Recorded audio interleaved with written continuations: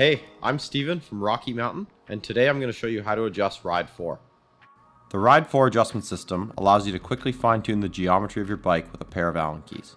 There are four configurations possible thanks to two rotating square chips.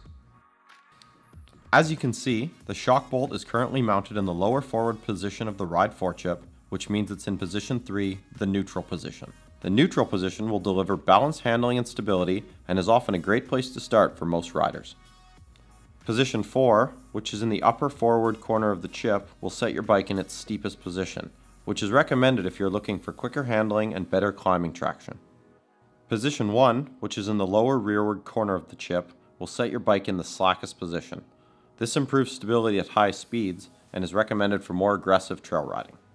Today, we're going to set this bike up in position 1, the slackest position. All you'll need is a one 4mm Allen key and one 5mm Allen key. Locate the rear shock mount on the suspension link and using a 4mm Allen key on the non-drive side and a 5mm Allen key on the drive side, loosen the screw with your 4mm Allen key by turning it counterclockwise. Remove the shock bolt and screws from the link, making sure you don't lose track of the spacers or Ride 4 chips. Once apart, simply rotate the chip to orient the chip's hole in the lower rearward corner of the outer chip. Reinstall the shock in the link and tighten the shock bolts and screws to 8 newton meters. So now that you know how to adjust ride 4, go for a ride and figure out which setting works best for you.